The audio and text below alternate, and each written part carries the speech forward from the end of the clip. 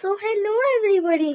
Today we are going to discuss the objective and descriptive type question and answers of chapter 5 Tools of MS Paint. Subject Computer ICSE class 3.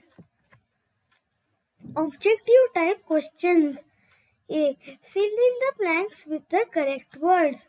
Question first. You can use the dash option to increase the size of an image. So the answer is resize. The dash option is used to twist an image in the horizontal or vertical direction. So the answer is skew. The dash command is used to reverse the last action performed. So the answer is undo. The dash option is used to reverse the effect of the undo command. So the answer is redo. The dash option shows a smaller view of the image. So the answer is zoom out. Question B. Write T for the true and F for the false one. The blank area in which you can draw is called the document area. So the answer is false. The color picker tool is used mainly to match colors in a drawing. So the answer is true. To move objects in a drawing, use the copy and paste commands. So the answer is false. To increase the zoom level and to see a larger view of an image, use the zoom out option. So the false. To set a drawing as the desktop background, click the paint button. So the answer is false. C. Choose the correct option. Question first. Which of the following options would allow you to select an irregular part of an image? So the answer is free form selection. Question 2. Which group contains the cut, copy and paste commands? So the answer is clipboard. Which of these options is used to get the mirror image of a drawing? So the answer is flip. Which of the following keyboard shortcuts will open the resize and skew dialog box? So the answer is Control plus W. Which of the following tasks can be done using the View tab? So the answer is all of these. Descriptive type questions. D. Answer the following. First question. How will you start paint? Which tab is already selected when you open the paint window? So the answer is to start paint, click start, all programs, accessories, paint. Home tab is already selected when the paint window opens. Question second.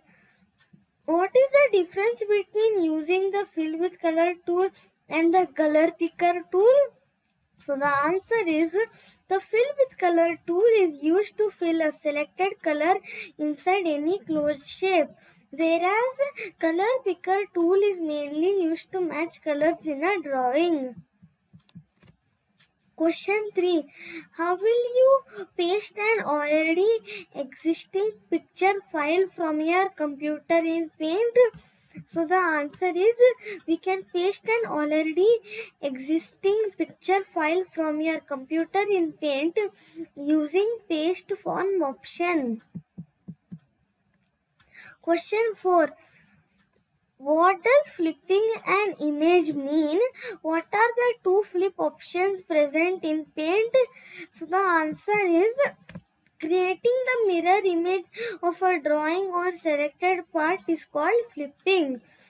Flip vertical and flip horizontal are the two flip options present in Paint. Question 5. How will you zoom in and zoom out of an image without using the view tab? So the answer is we can use the zoom slider at the bottom of the paint window to zoom in and zoom out an image. Application based questions. A. Ashima has drawn a bunch of flowers in paint. Her teacher helped her color one of the flowers. She has asked Ashima to fill the remaining flowers using the same colors. Which tool should she use to do this? So the answer is color picker tool.